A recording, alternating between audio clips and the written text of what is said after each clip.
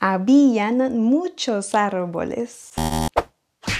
Comment dire il y a en espagnol dans plusieurs temps verbaux? Hola, ¿cómo te encuentras? ¿Cómo vas-tu? Soy Jimena, ta professeure d'espagnol et dans ce nouveau cours, tu vas apprendre à dire il y a en espagnol aussi bien au présent, à l'imparfait, au passé simple et au passé composé pour parler comme un véritable hispanophone. Vamos, c'est parti. Pour commencer, il est important de savoir que cette locution il y a vient du verbe haber en espagnol. Ainsi, nous l'employons sous la forme impersonnelle, invariable et irrégulier. De ce fait, au présent de l'indicatif, on dit hay, il y a, pour indiquer l'existence des sujets, des choses ou des situations. Et donc c'est très utile car on peut dire par exemple Aquí hay una planta. Ici, il y a une plante. Et il est très important de souligner que hay ne s'accorde pas en genre, c'est-à-dire féminin ou masculin, ni en nombre, singulier ou pluriel. Ça reste invariable. En plus, hay est utilisé suivi d'articles indéfinis. Uno una, unos, unas. Hay unos libros en la mesa. Il y a des livres sur la table. Il peut être aussi suivi des adverbes de quantité, comme c'est par exemple mucho, poco, demasiado, bastante, ninguno. Hay mucha gente en este lugar. Il y a beaucoup de gens à cet endroit. En el jardín hay muchas plantas. Dans le jardin, il y a beaucoup de plantes. Hay poca agua en el vaso. Il y a peu d'eau dans le verre. No hay ningún problema. No hay ningún problema. Il n'y a aucun problème. Et bien sûr, il est aussi suivi des chiffres et des substantifs. Voyons ensemble quelques exemples. Hay un gato en mi casa. Il y a un chat chez moi. En mi cuarto hay un televisor. Dans ma chambre, il y a un téléviseur. No hay tiempo que perder. Il n'y a pas de temps à perdre. En el baño no hay bañera. Dans la salle de bain, il n'y a pas de baignoire. Hay sillas en la sala. Il y a des chaises dans le salon. Comme vous avez bien compris, au présent de l'indicatif, on dit hay pour dire il y a. Et comment on dit cela à l'imparfait Eh oui, tout comme en français à l'imparfait, on dit il y avait. En espagnol, ce serait había, en accentuant sur le i. Había. Et il est employé pour décrire une action ou une situation se déroulant dans le passé, qui ont duré un certain temps, qui était habituel ou répété. Par exemple, Antes había un parque para niños en mi barrio. Ahora ya no hay. Avant, il y avait un parc pour enfants dans mon quartier. Maintenant, il n'y en a plus. Hace una hora había mucha niebla. Ahora solo está nublado. Cela fait il y a une heure, il y avait beaucoup de brouillard. Maintenant, c'est juste nuageux. Algunos años atrás, había muchos árboles aquí. Ahora hay muy pocos. Quelques années en arrière, il y avait beaucoup d'arbres ici. Maintenant, il y en a très peu. Alors, rappelez-vous, à l'imparfait, on dit había. Il y avait. Comment on dit cela au passé simple?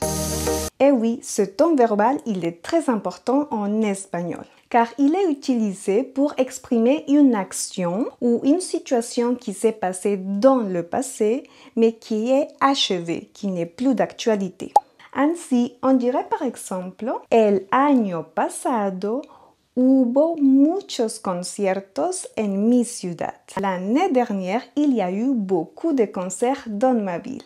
Ayer hubo un accidente en la carretera. Hier, il y a eu un accident sur la route. El mes pasado hubo mucha lluvia. Le mois dernier, il y a eu beaucoup de pluie. Alors, n'oubliez pas, au passé simple, on dit hubo. Il y a eu. Et maintenant, comment on dirait cela au passé composé?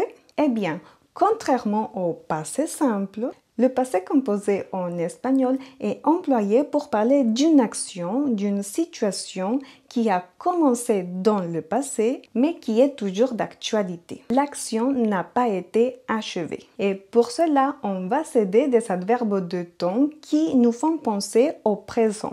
Par exemple, hoy ha habido algunos turistas. Aujourd'hui, il y a eu quelques touristes. Este mes no ha habido nieve. Ce mois-ci, il n'y a pas eu de neige. Ces adverbes de temps nous font penser au présent. Este año, cette année. L'année n'est pas encore finie. Alors, il peut encore se passer des choses. Et c'est pareil. Hoy, hoy, la journée n'est pas encore finie. Ou même este mes ce mois-ci. Alors, c'est toujours d'actualité. Et maintenant, faisons un quiz ensemble afin de t'entraîner et de bien maîtriser ces temps verbaux pour dire il y a, il y avait, il y a eu au passé simple et il y a eu au passé composé. Écris dans les commentaires les réponses. Ce serait avec grand plaisir d'échanger avec toi. En este momento hay, había, hubo, ha habido muchos mosquitos porque estamos en verano. En ce moment, il y a beaucoup de moustiques parce que nous sommes en été. Hace dos meses hay, había, hubo ou ha habido un concurso en el cual participé. Il y a deux mois, il y a eu un concours auquel j'ai participé. Un troisième exercice, c'est cuando era pequeña, hay, había, hubo, ha habido muchos columpios en este parque. Quand j'étais petite, il y avait beaucoup de balançoires dans ce parc. De momento no hay, había, hubo, ha habido granizo. Pour l'instant, il n'y a pas eu de grêle.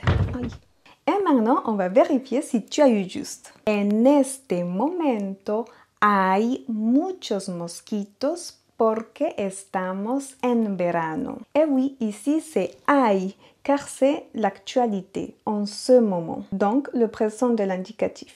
Hace dos meses hubo un concurso en el cual participé. Ici on emploie le passé simple car c'était il y a deux mois et l'action elle a été achevée. Et n'oublie pas participar en.